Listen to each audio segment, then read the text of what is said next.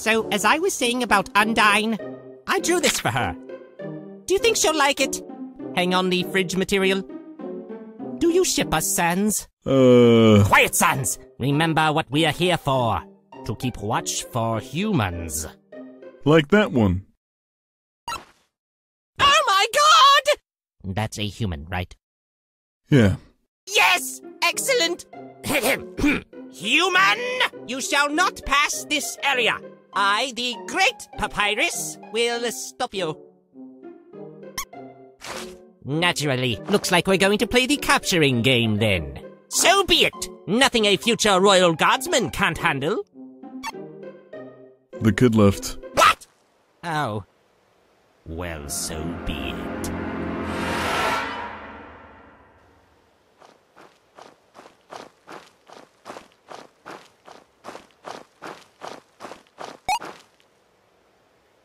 Looks like you must surrender to me, human. Since you surely won't be able to pass my trap!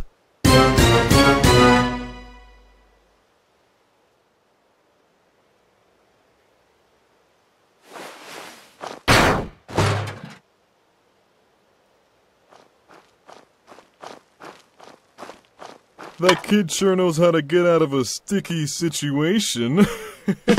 Be quiet, Sans! I will not be outsmarted, human!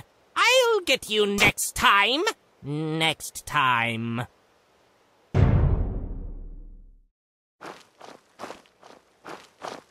no further, fiend! Surrender now, or I'll show you my special attack! Not surrendering, huh? Then you asked for it. There is a bomb strapped to my chest, human. Surrender now and I'll disarm it. But if you do not surrender, I'll be forced to detonate the device, killing us both. You edgy. That was a real bomb, you maniac! Nevertheless, you solved my puzzle. Proceed. I'll get you next time, human. There is no way my new plan can fail.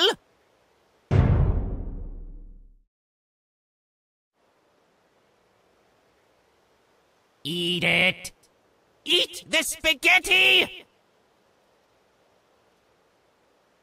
My spaghetti is the perfect trap to lure in that human, Sans. As a self-proclaimed five-star chef and food critic, I'd say this is my best dish yet. we don't have tongues, but whatever makes you happy, pal. I caught it, Sans! I caught it! Wait, really? Just look, Sans, it's right here! My cooking was too amazing. I'll get you, human. No matter how much spaghetti it takes. Oh, this is good. Hmm.